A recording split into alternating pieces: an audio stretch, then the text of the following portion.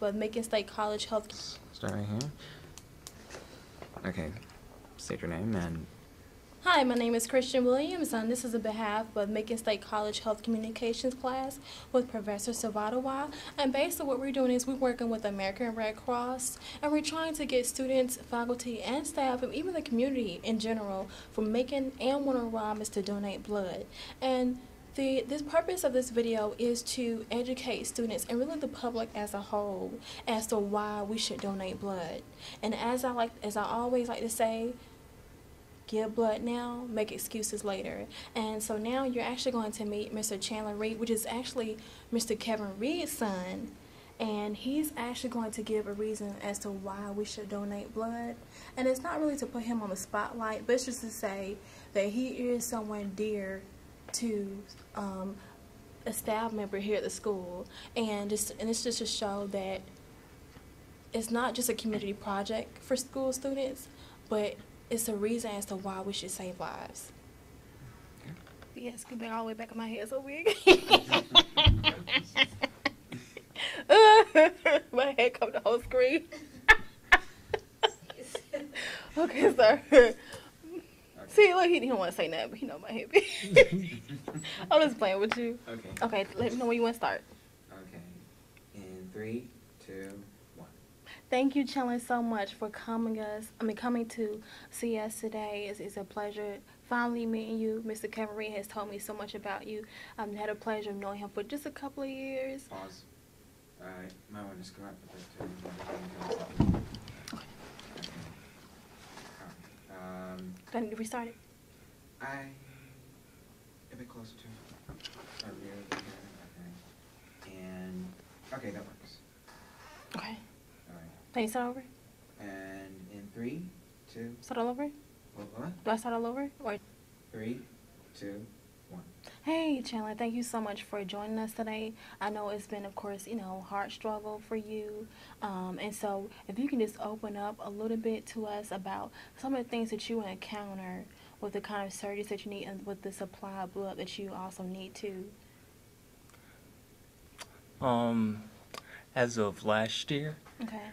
2011, Mhm. February, um, I had a virus attack my heart, Oh, wow. and um, at the time it it caused my heart to fail, Okay. which required me to have tons of blood then, so I had to go on a heart bypass, Okay. and it was just it was just something I never thought would happen. Mm. And also at the time, I was kind of afraid of taking blood, Mm. but um, there came that point that I had to take it Yeah, no choice. because it was a life or death situation at that Mhm. point. And if I could thank the person that gave me the blood, I, I definitely would. Mm.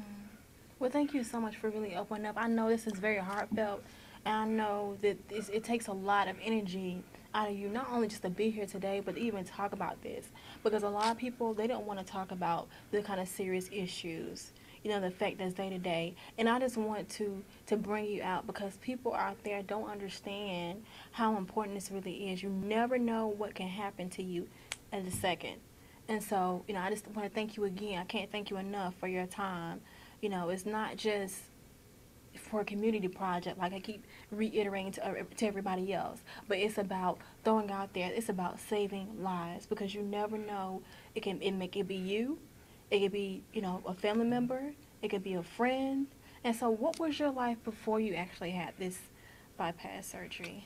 I was a regular 21 year old Hmm. going to school at Mercer University here in Macon, Wow. and um, almost through with my senior year And What? Wow. What was your major? biology, Wow. Okay. minor in chemistry. Wow, you're a smart kid.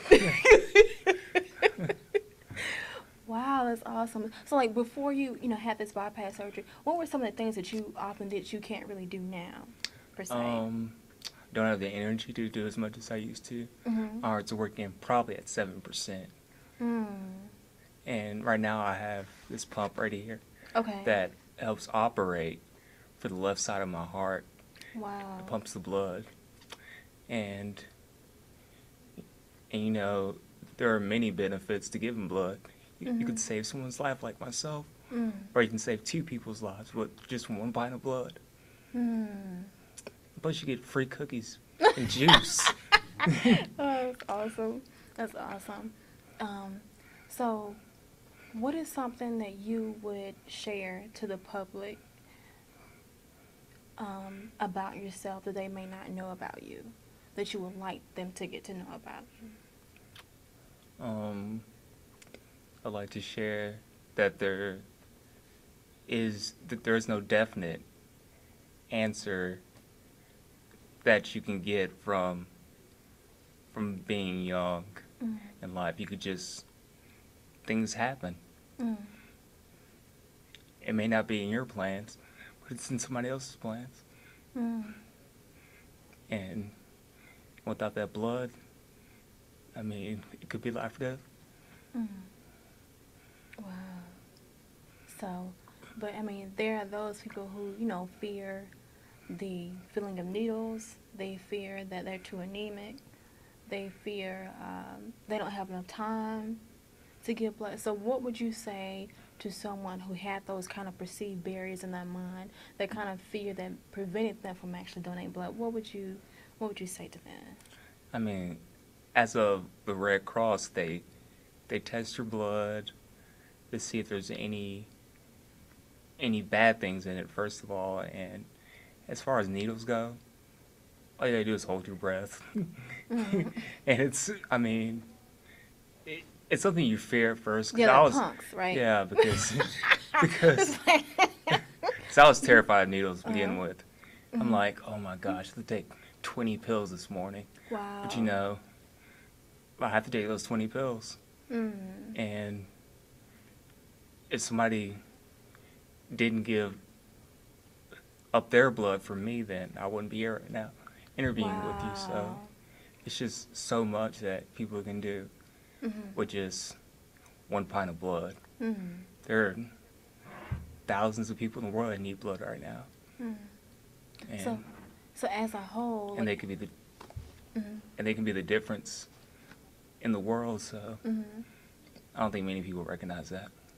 I don't think so either. This is actually my second time giving blood, so I'm I'm excited about it, especially after meeting you, um, because for me this this touched me and this gave me motivation to do what I'm doing now. It just you know, so I I just really my heart really goes out to you, and I really appreciate your time. But one last thing is how how well you may not know, but do you exactly remember how much you know units of blood you probably needed ever since the surgery? Five to six, possibly. Five to six units. Okay. Okay. It's probably one or two for every surgery that I've had. I've had five within the past year. Five open heart surgeries within the past year. Wow, that's amazing. That's not including operations. Are you serious? So like, like what kind of operations, if you don't mind? um, endoscopy, Okay. where they put a tube down your throat. Mhm. Colonoscopy, Mm. and then they have this little camera pill that you can swallow, Mhm. and it will see stuff inside. Oh wow. And then, as you can see with my neck right here, Mhm. I've had a right heart cath, Okay. and it basically measures the pressures in your heart. Okay. So I've had plenty of those. Mm. Okay. It's been quite a journey. Well, I see that, but I just, I just can't thank you enough. You know, oftentimes we complain, but we take a lot of things for granted. You know, so I definitely appreciate your time.